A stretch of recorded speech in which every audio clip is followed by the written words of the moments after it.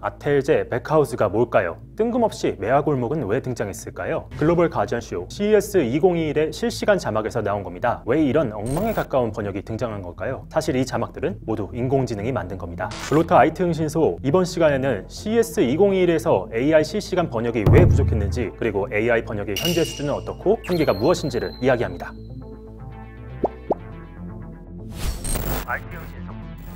1월 11일부터 14일까지 나흘간 CES 2021이 열렸죠. 100% 온라인으로 진행된 첫 행사인 이번 CES에서 마이크로소프트가 만든 AI 실시간 번역 기능이 지원됐습니다. 연사의 발언을 무려 17개 언어로 실시간 번역해 시청자들에게 제공했죠. 그런데 말입니다. 이번 영상 번역은 정확도 문제 때문에 적지 않게 원성도 있었습니다. 직접 보시죠.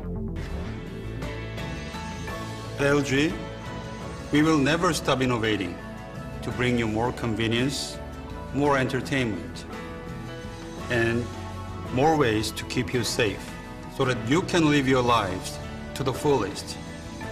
Whatever changes may come, life is on because life is good.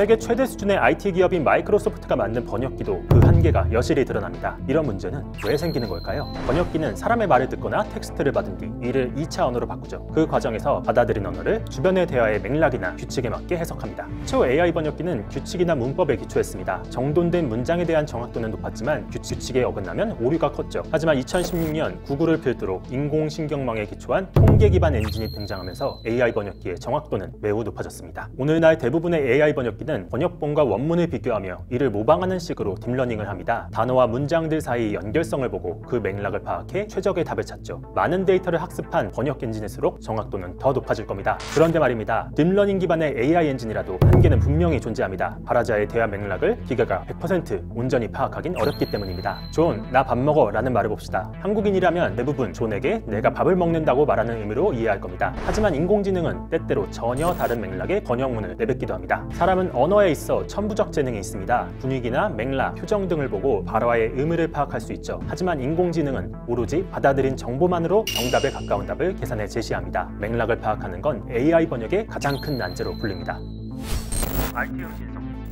또 다른 문제도 존재합니다. 실시간 번역기는 음성을 텍스트로 변환합니다. 이를 Speech to Text, 줄여서 STT라고 하죠. 그런데 만약 음성을 제대로 텍스트로 바꾸지 못한다면 제대로 된 번역 또한 불가능하겠죠. 전문가의 이야기를 들어보겠습니다.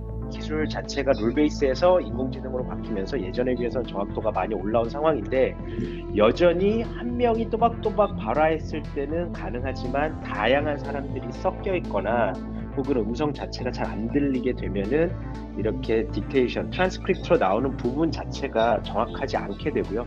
그 맥락을 이해를 한다라는 것을 잘 생각을 하셔야 되는데요. 이 맥락을 이해한다라는 거는 한 문장 안에서의 맥락을 파악한다는 거지. 네. 여러 가지 문장에 있어서 앞뒤의 맥락을 파악한다는 얘기가 아닙니다. 음... 그렇기 때문에 앞에 말한 문장과 뒤에 말한 문장은 별도로 번역을 하게 되고요.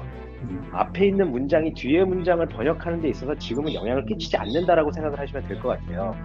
어, 그렇게 되기까지는 아까 말씀드렸던 것처럼 다양한 기술이 결합돼야 되는 부분이 있고요. 네. 완벽하게 모두가 자유롭게 이렇게 대화할 수 있는 거는 아마 어, 10년, 뭐 20년 안에는 힘들지 않을까 그렇게 생각을 하고 있습니다. 정리해봅시다. 인공신경망의 발달에 따라 AI 번역의 기술적 수준은 매우 높아졌습니다. 하지만 마이크로소프트나 구글과 같은 대기업들의 번역 엔진도 아직 대화의 맥락을 완벽하게 파악하는 능력에 이르진 못했습니다. CES에서 이상한 단어들이 번역된 이유입니다. 인공지능 번역이 발전하면서 통번역가가 사라질 것이란 말이 있죠. 하지만 아직까지 기술적 한계가 있는 만큼 둘은 당분간 공존할 가능성이 더 커 보입니다.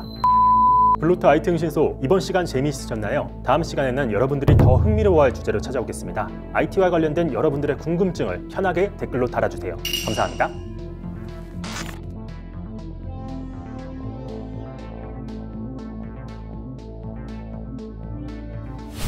IT 흥신소 다음 이 시간에